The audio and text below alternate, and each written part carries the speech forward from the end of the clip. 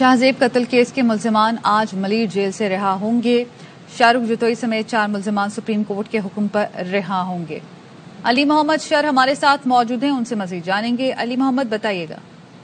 जी, बिल्कुल, कराची के इलाके डिफेंस में 2012 में कत्ल होने वाले नौजवान शाहजेब के कत्ल केस में मुलविस शाहरुख जतोई और उनके साथ सराज लाशारी और दीगर चार मुलजमान हैं जो आज सुप्रीम कोर्ट के हुक्म पर मलिर जेल से रिहा हो रहे हैं।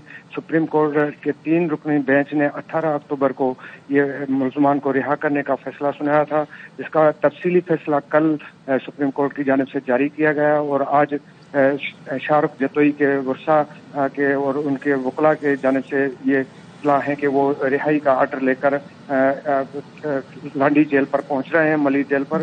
और वहाँ से शाहरुख जतोई और दीगर मुलजमान की रिहाई होगी और उनके गुरसा भी वहाँ पहुँचना शुरू हो गए हैं। शाहरुख जतोई एक और जो मुलजमान हैं उनकी मकतूल शाहजेब के, के बहुत शुक्रिया आपका अपडेट करने के लिए।